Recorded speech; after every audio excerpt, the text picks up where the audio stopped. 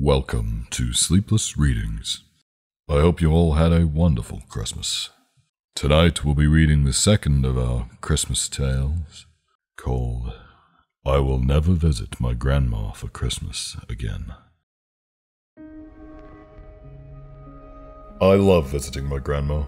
She always makes the food that I like, and in large quantities, and spoils me. With the hustle and bustle of college life, it's nice to go back to my childhood and allow myself to be spoiled for a few hours every few weeks. Even though she has six grandchildren, she's made it clear that I'm her absolute favorite.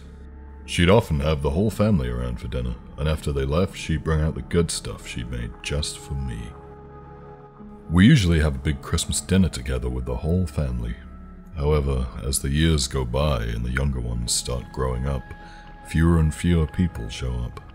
Last year, everyone already made plans, forgetting about poor Grandma. I don't blame them, but they often forget how these visits mean a lot to her, especially ever since Grandpa died. That's why when I talked on the phone with her and she asked me if I had any plans, I lied to her and told her I didn't. She immediately jumped at the opportunity to politely invite me, going so far as to offer me to sleep over at her place. She said there's one room which hasn't been used in years and I could stay in there. I immediately said yes and agreed to stay over, realizing how happy that would make her. I cancelled the plans I made with friends, telling them something else came up. Although they were bummed about it a little, their drinking party wouldn't stop because of me. That was the last Christmas I would ever spend with my grandma. On Christmas Eve, I arrived to my grandma's place and she greeted me like she always does, with a tight hug and lots of kisses. I barely even stepped inside when she started offering me food. She had already made what could only be described as an all you can eat buffet. We dug in, and once we were done, she showed me where I could sleep for the night. It was a cozy little bedroom, which apparently used to be my mum's room when she was little. Grandma told me not to leave my room during Christmas night in order to avoid disrupting Santa in his work. She said that if I really needed to use the bathroom, I could, but to be extremely quiet and not to go downstairs. On the nightstand, she left a list of things I should do before I go to bed to ensure I get a good present. I decided to play along and abide by the rules. I told her I'd read it before bed and do everything necessary, and she seemed content with that. She wished me good night and left the room. I was pretty tired from the trip there and the enormous dinner I've eaten, so I lay down on the bed and involuntarily fell asleep within minutes. I awoke a few hours later. I glanced at my watch and realized it was 3:01 a.m. I got up to grab a glass of water downstairs from the kitchen and groggily walked through the dark, trying to avoid any loud noise or turning on the lights, not to wake Grandma. I went downstairs and turned on the kitchen light, gulping down a glass of water. I glanced towards the living room at the Christmas tree and something caught my attention under the glow of the decoration lights. There was a small plate with a tiny paper that said, For Santa. I reckoned it was cookies and milk, but when I got closer, I realized that the plate was empty. Red liquid was in it, and right next to the plate was a small bucket. I found this weird, but figured that Grandma may have just forgotten to put it away or something. I turned off the kitchen lights and returned to my room, just then remembering the list my grandma gave me. I grabbed it off my nightstand and started reading. Dear James, thank you for visiting me on Christmas. You made your grandma really happy. Now, Christmas is a little different in this house than what you're probably used to, so it's very important that you follow these rules on the list. 1.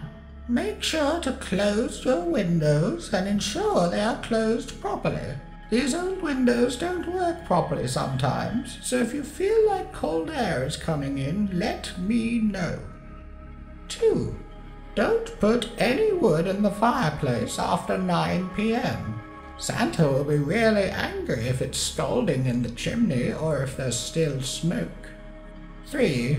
You didn't forget about milk and cookies, did you?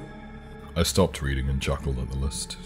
Grandma clearly wanted me to follow the basic rules for Santa like when I was a kid. But again, I decided to oblige. I continued reading the list. In this household, we don't use milk and cookies. We use raw meat and blood. I already left a bucket by the Christmas tree, and there's a raw piece of chicken I put on the plate. Santa sure loves his diet. 4. If you are woken up by the sound of scratching or knocking on your window, ignore it.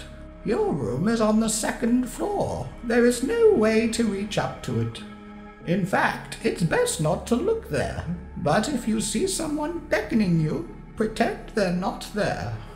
They may try to open the window from outside. This is why it's so important to keep the windows closed. 5. You may hear growling coming from the kitchen. It's okay, because Santa never comes upstairs, and since I already left the chicken for him, that should satisfy him. By this point, I was sure Grandma was just messing with me. That was until I heard the sound of three gentle knocks on the window behind me. I froze in place, staring at the list, but practically staring through it. Three more gentle knocks ensued, but I did my best not to give away that I heard them. Once again, there were three more knocks, and then the sound of scratching started. First gently and then louder, as if a rat was trying to bite through the wall.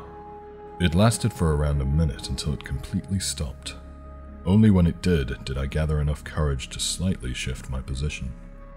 That was a mistake, though, because when I looked down to the floor at the light which was cast in from the window, I saw the unmistakable shadow in the form of a humanoid silhouette stretched across. I couldn't tell for sure, but it looked like whoever was there held both his hands on the window and stared directly towards me. I decided that the best thing to do is continue reading the list to try and distract myself. 6. If someone walks into your room whilst you're sleeping and you happen to wake up, pretend that you're still asleep. In the worst case scenario, the person will sit on the edge of your bed and observe you, so do your best not to let them know you're awake. If you feel their breath on your neck and it gets progressively closer, it means they've realized you're awake. 7. You may hear me calling you from downstairs. Don't listen to it. I will under no circumstances go downstairs during the night. 8. Last and most important rule if you get up to go to the bathroom, never, ever, ever turn on any lights in the house. He has trouble noticing you in the dark, but if you turn on the lights, he'll be able to follow you wherever you go, and then not even locking your door will help. 9. Follow these simple rules, and in the morning we can open your Christmas presents. Love, Grandma.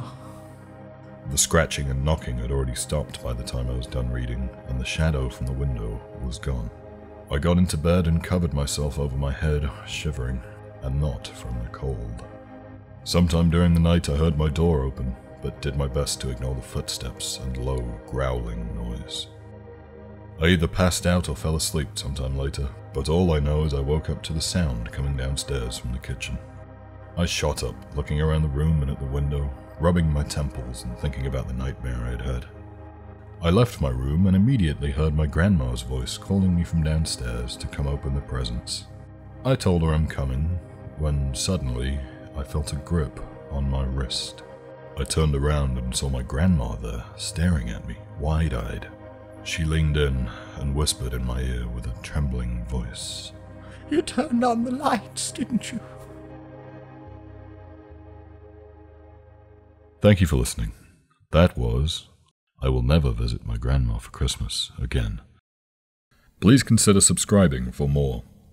And as always, stay sleepless.